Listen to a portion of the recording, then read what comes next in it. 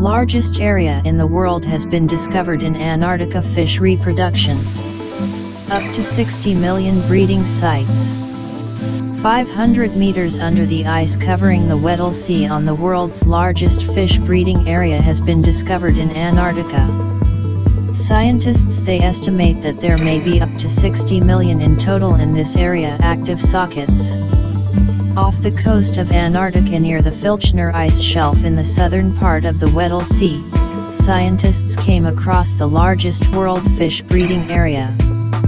The team from the deck of the research ship spotted at the help of an underwater camera is thousands of fish nests of the species Neopagetopsis cyana dotted on the seabed.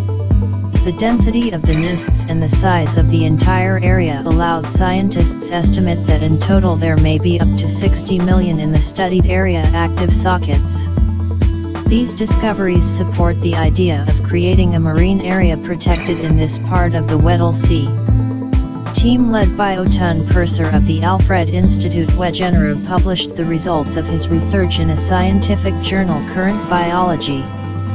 The discovery was made from a German research ship Polarstern. Scientists studied the chemical relationships between surface waters and seabed. Part of the research included observations of life on the seabed through slow towing behind the research vessel of the device with cameras, sonar, and other sensors. The device recorded the image as it slid just above the bottom ocean. Last February, the underwater camera system recorded thousands of fish nests located on the seabed at depths of 420 to 535 meters. The scientists were surprised. The longer they watched the recording, the more nests saw. Quick calculations showed that it was 3 square meters there is an average of one nesting site, although scholars have also spotted sites, the where there were even two active nests per square meter. Checking the entire area allowed scientists to determine that the nest area covers approximately 240 square kilometers, I.e. about as much as Malta has. The idea that such a huge fish breeding area in the Weddell Sea it was previously undiscovered, it is completely fascinating says Purser, deep sea biologist, and lead author of the publication. Interestingly, the Institute Alfred Wegener has been studying this area with the icebreaker Polarstern since his early years 80s. So far, only single nests or small clusters have been detected here sockets Neopagetopsis cyana. Based on the photos, the team of scientists was clearly able to identify round nests about 75 centimeters in diameter that clearly it is distinguished from the rest of the seabed by an envelope of small stones.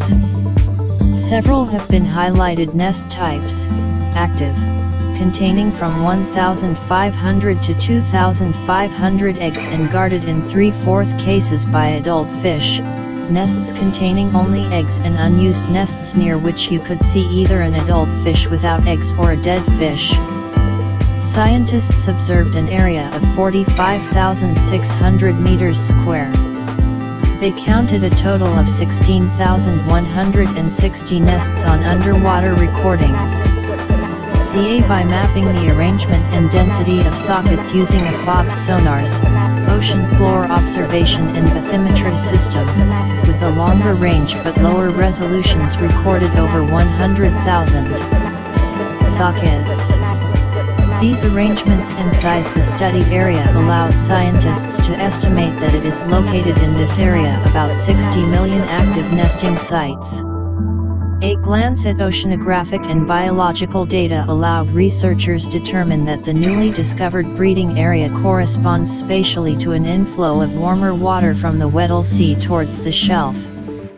Researchers found also that this place is popular among seals where they go in search food 90% of observed seal dives occurred in the area active sockets. No wonder. Scientists estimate the biomass of the local colony at 60,000 tons. With its biomass, this huge breeding area is extremely an important ecosystem for the Weddell Sea.